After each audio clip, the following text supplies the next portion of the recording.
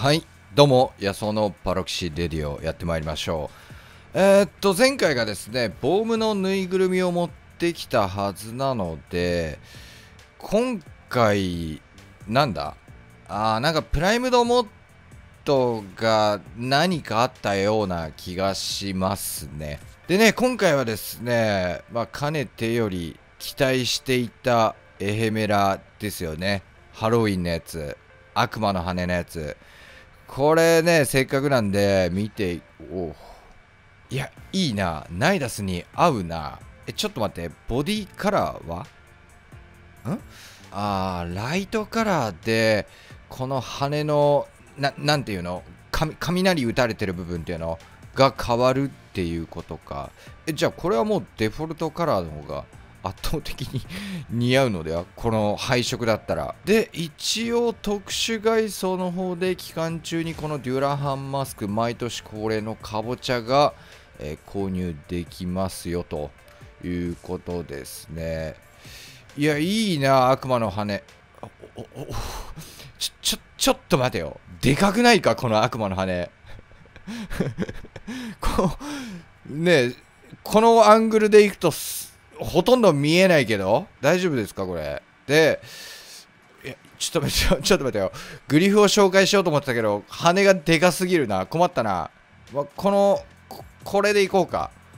で、えー今年はですねグリフパックの方でん？なんか一人だけ違うやつがいるな。勘弁してくださいよグレンデルの兄貴。2ヶ月ぐらい早かったね。ちょっと早まっちゃったのかもしれないねグレンデルの兄貴も。お茶目だからね。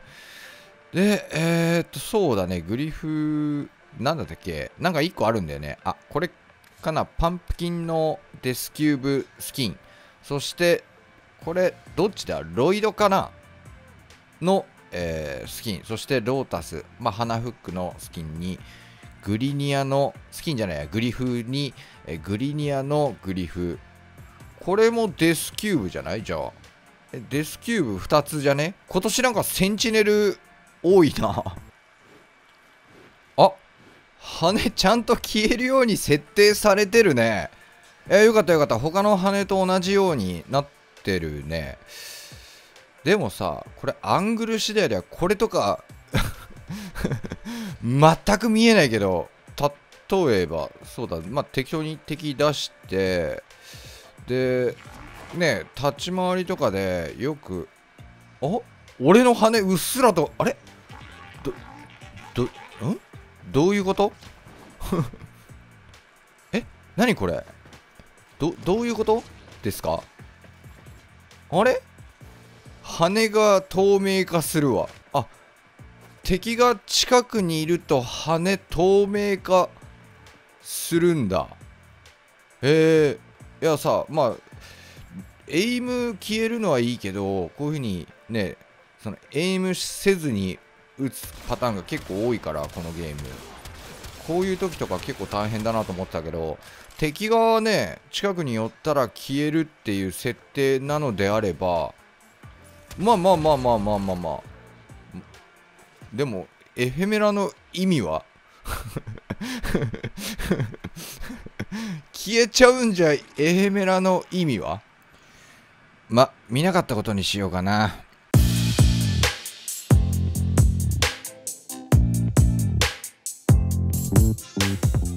はい、えーどうも、やそうです。バロクシレディオやってまいります。えー今回はですね、バロキチに、えー直接会ってやっていこうかなと。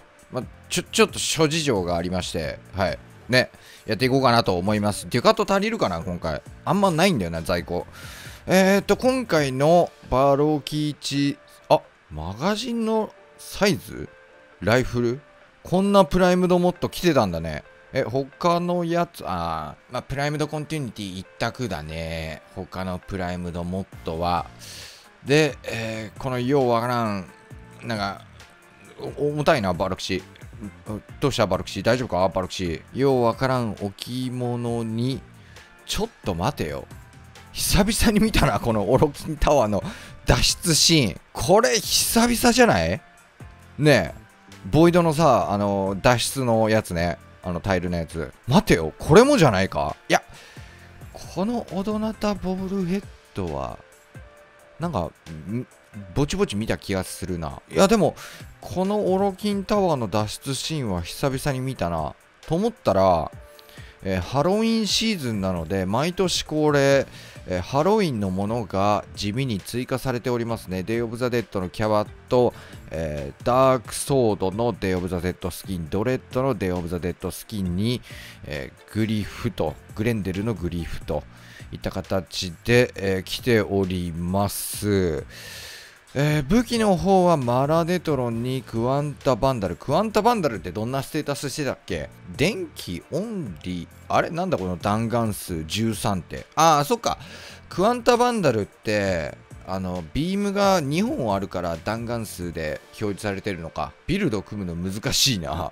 ちょっとパッと思いつかないな、運用方法が、現状。なんか、この弾丸数っていうところが引っかかるな。うん。まあハンターで弾丸数で設定されてるんだったら切断がっつり狙いていけそうな気がしなくもないけど基礎ダメージがそもそも低いからだいぶきついなっていうお話ですかね。で、えー、マラデトロンのあでもマラデトロンは今テネットがあるからね。ちょいあれかな。クワンタバンダルなんかうまいことやれば化けそうな気がしなくもないですね。うん、他のものとしては、オドナタのエリクシススキン。これもぼちぼち見るな。ね、これもぼちぼち見るよね。全体的に見て、プライムドコンティニティ一択って形だね。で、このマガジンのサイズのもっと、何に使いたいかなって形なんだけど、ちょっと先に購入しておいて、エクストラからアーセナルでプライマリーのライフルでしょ？しかもなんだろうな。なんかいいのあるかな？あ10時とかいいんじゃないの？ねえ。瞬間的に叩き込みたい系なので10時も。マガジン数が増えたらその分打ち込める数も増えるっていうことなので。あれ？どこだ？10時でもあ30発あんのか。でも枠がないんじゃないか？リロード速度もっとつけてたっけ？いや、つけてないんだよね、この10時。確か前紹介した時なんだっけな？そっか、リベンで複合属性のなんか強化版みたいな形で来てくれたら枠を圧縮しつつ、さっきのマガジン数もぶち込めるのか。他なんかあるかな？アクセルトラとかどうだったっけ？あ、マガジン数48発もあるんだね。あホールド系の武器とかは？あでもホールド系って本当に枠がカツカツすぎてだいぶきついと思うから。あ最近紹介したコモレックスとかどう？ね地味にマガジン数もともと多いし枠は結構余裕があるからなコモレックス。ワンチャンありかもな。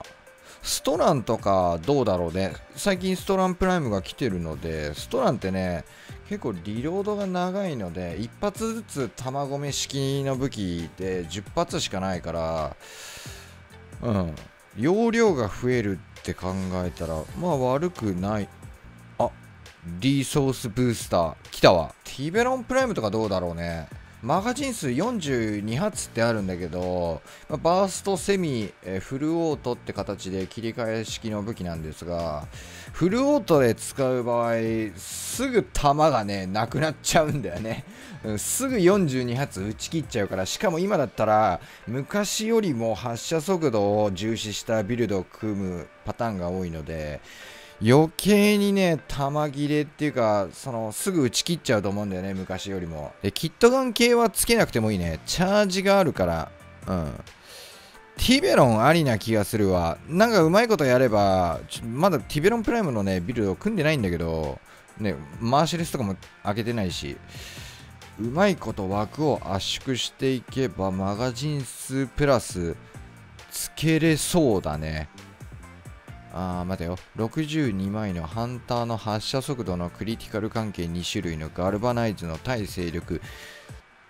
あ うんマガジンプラスのモッド。なかなか使うのが難しそうなモッドですね。